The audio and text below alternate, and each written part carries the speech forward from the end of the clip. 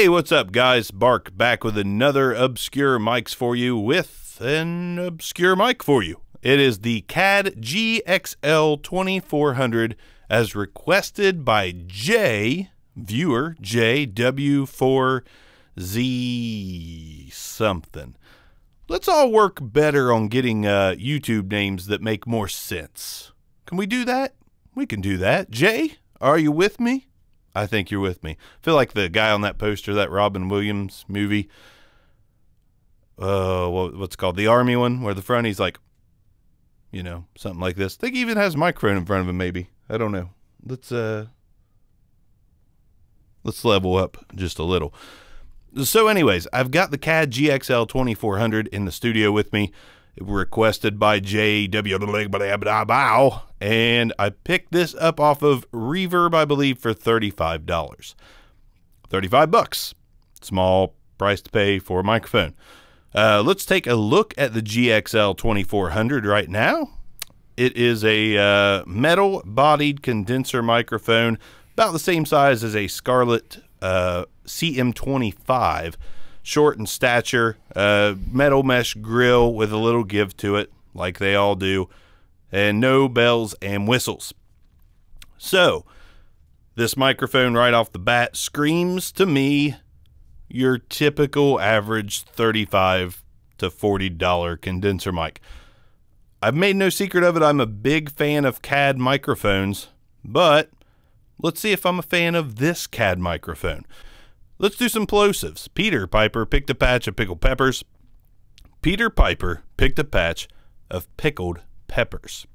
So, let's get up on it. This is how the CAD GXL 2400 will sound if you get right up on the microphone and attempt to lick it. Uh, okay, so first thoughts on this microphone. It is a cardioid polar pattern microphone. It does take phantom power. I think we all know that by now. But if you don't, hey, I just told you. This reminds me greatly of the Tascam TM80. It doesn't sound horrible, but it doesn't sound great. It does sound like a 30 to $60 range microphone.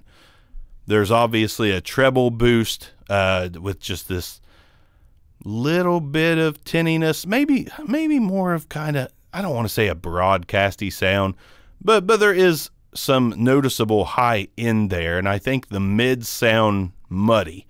I, I think once you get underneath that treble boost, it, it's kind of muddy.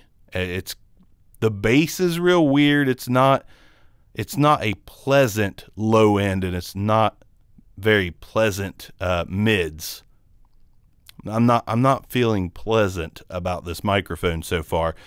Now, granted, it, will get you by. Uh, this or a Neewer in W700. Go go with the CAD. Go with the CAD GXL 2400. But this is one of those microphones that the moment I started talking into it, I was like, I'm not exactly happy with my $35 purchase. I know $35 is not a lot, but I'm not very pleased that I parted with $35 for this. To me, this is uh, maybe you could get a BM800 for 10, 15. Not real sure about this. Maybe it'll sound better, like I always say on the video, than it does right here, right now. But first thoughts GXL 2400. I'm going to take a hard pass on you. Pretty hard pass. Not feeling it. Let's sing into it just to see if it can change my mind for singing, I guess. What uh I don't I don't know why you guys continue to want me to sing. It really doesn't make a lot of sense cuz it's so so bad. But even though I don't know the lyrics, here in Ohio, it has rained for what seems like a year and a half. So, let's go to the classics and say, Who'll stop the rain?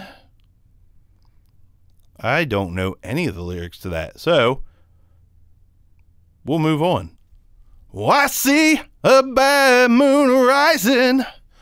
Da-da, da-da. I see trouble on the way. The CAD G XL 2400. I don't think's worth 35 bucks any day. That was terrible tempo. Folks, if you want to know how not to tempo a song, there you go. I just told you how not to tempo it. That was quirky and offbeat and odd. Not cool like a progressive band's time signature, but just flat out odd. So, the CAD GXL 2400 right out of the right out of the gate, I'm just not impressed. I'm not happy that I spent $35 on this. I'm hoping someone else will be happy buying this for $35.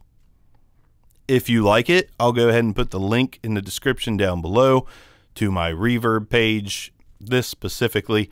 And if you would like to spend $35 on it, by all means, buy it for $35. I'm done with it. Now you can have it. So, GXL 2400.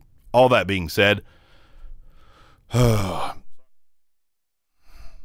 am sorry, CAD, but this CAD microphone is going to get the red light. I just am not feeling it. Just just too cheap sounding in my ears. I'd spend more time on it if it was worth it. It's not worth it. GXL 2400 if you want it, grab it, get it off my hands, I'll send it to you. Maybe send you a little something extra. A surprise extra. That's how I sell this mic. You'll get a surprise extra when you buy this mic on Reverb from me. Make sure you message me and let me know you bought it because of the video, or else I'll just think you're a typical Reverb user and send it to you in a paper bag. Obscure Mics. Peace out.